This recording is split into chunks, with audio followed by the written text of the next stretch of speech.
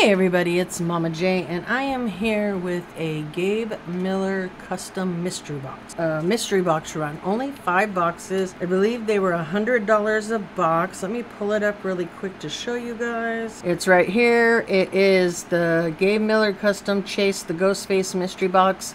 Five boxes, a hundred dollars ship, two and five chance of receiving one of the one of one Gabe Miller custom Ghostface figures, and there is a picture. Maybe I'll try to put it right there so you guys can see it a little bit better. And I thought, oh, what the heck, you know?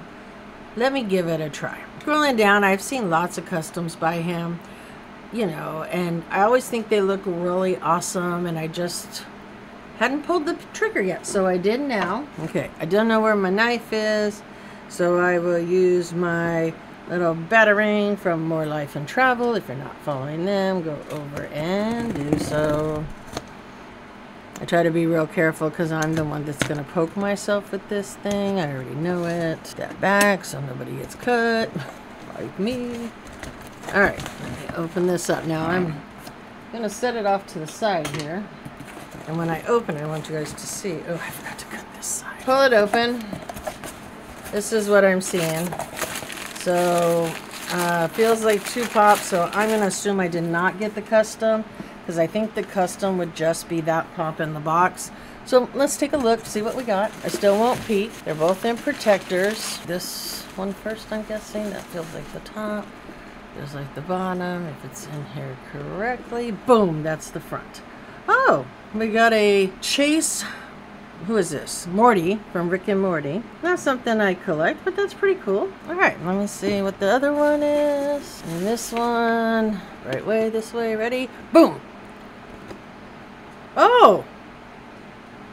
Okay, well, I did get a Gabe Mill a Miller custom. Maybe I didn't realize, but that's pretty awesome. Actually, truthfully, I prefer this over the Ghostface. So I feel like I'm the winner because uh, I'll be honest, I think this one looks cooler because I don't do a lot of like that. And this one to me has a little more rock and rollish to it, you know? So I like this. That is freaking awesome. He's all tatted up. Yeah, I like this. Now, I don't know what this is. I'm going to have to look it up so I can be able to tell you guys. All right, well, this is a horror movie too, but I've never heard of it.